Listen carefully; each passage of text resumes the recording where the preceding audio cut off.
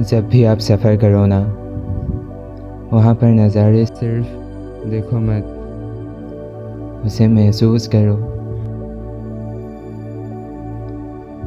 ये सर सराती हुई पत्तियाँ, ये गुनगुनाती हुई हवाएँ, ये बिन बुलाए आई हुई बरसात, ये जंग बनाती हुई सीढ़ियाँ और ये डूबती हुई सूरज। इन सब की कुछ ना कुछ तो खासियत है। दूर जाना, रुक जाना, ये भी सही है।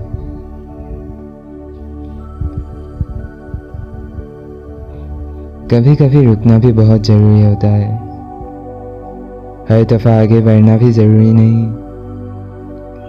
पीछे चीज़ें अधूरी रह जाती है।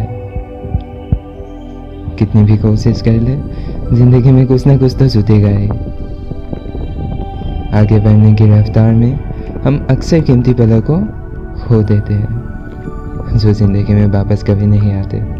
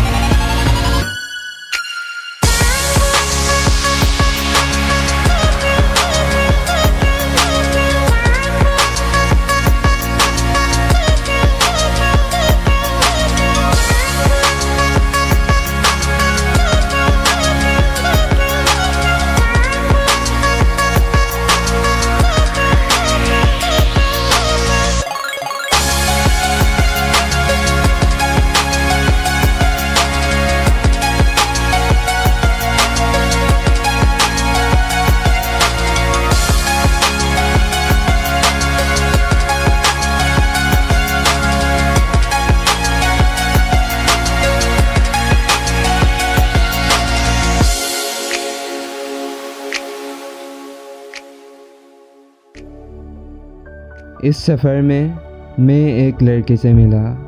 वो बोली, अक्सर मैं सफ़र करती रहती हूँ। नई नई जगह नए नए लोग और बहुत कुछ। पर मेरी एक प्रॉब्लम है। मैं एक जगह रुक ही नहीं पाती। चाहे वो जगह कितनी भी सुंदर क्यों ना हो।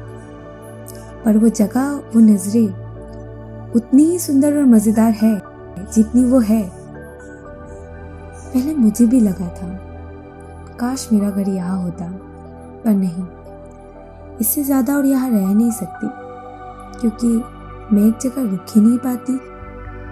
मुझे मिल गया जवाब।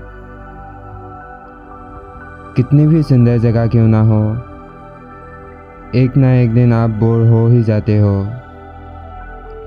जितनी भी अच्छा क्यों ना लगे, एक ना एक दिन छोड़ने का मन करेगा ही। पर घर घर कितनी भी बोरिंग क्यों ना हो आपको आपका घर पसंद है। आप छोड़ नहीं सकते। आपको लौट कर घर ही आना है। शायद प्यार। प्यार भी कुछ ऐसा ही है। बाकी लोग कितने भी अच्छे क्यों ना लगे आपका प्यार आपके लिए बेहतर है। प्यार एक घर है इसीलिए बोलता हूँ।